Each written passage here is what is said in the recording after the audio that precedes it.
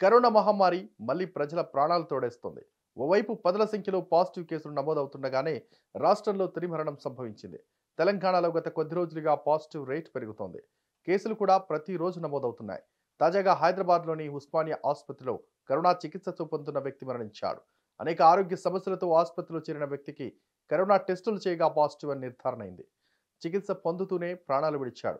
అటు ఆంధ్రప్రదేశ్లోని Visakhapatnam king George ఆసుపత్రిలో కూడా ఒక మహిళా రోగి కరోనాతో మృతి చెందింది.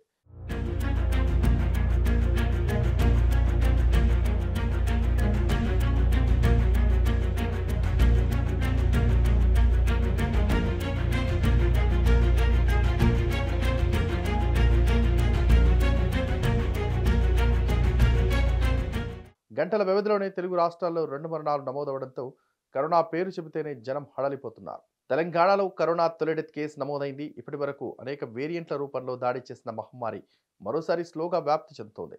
రాష్ట్రంలో గడిచిన ఇరవై నాలుగు గంటల్లో పది పాజిటివ్ కేసులు నమోదవగా తొలి మరణం సంభవించింది. తెలంగాణలో గత కొద్ది రోజులుగా పాజిటివ్ రేట్ పెరుగుతోంది. కేసులు కూడా ప్రతి రోజు నమోదవుతున్నాయి. తాజాగా హైదరాబాద్లోని ఉస్మానియా ఆసుపత్రిలో కరోనా చికిత్స పొందుతున్న వ్యక్తి మరణించారు. అనేక ఆరోగ్య సమస్యలతో ఆసుపత్రిలో చేరిన వ్యక్తికి కరోనా టెస్టులు చేయగా పాజిటివ్ అని నిర్ధారణ అయింది. చికిత్స పొందుతూనే ప్రాణాలు విడిచాడు.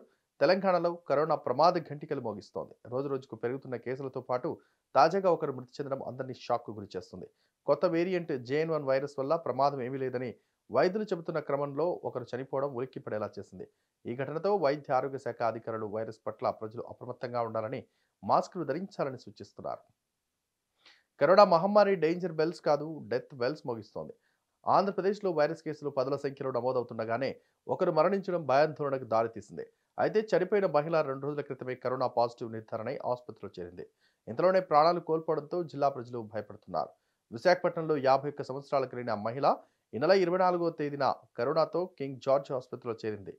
అయితే పాజిటివ్ లక్షణాలతో ఆసుపత్రిలో చేరిన మహిళ మంగళవారం తెల్లవారుజామున మూడు గంటల ప్రాంతంలో మరణించినట్టుగా తెలుస్తోంది. కరోనా వైరస్ తెలుగు రాష్ట్రాల్లో కూడా పంజా విసురుతోంది.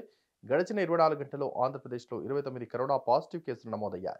ఈ రోజు తెల్లవారుజామున యాభై సంవత్సరాల మహిళ మృతి చెందింది. తెలంగాణలో పది పాజిటివ్ కేసులు నమోదయ్యాయి.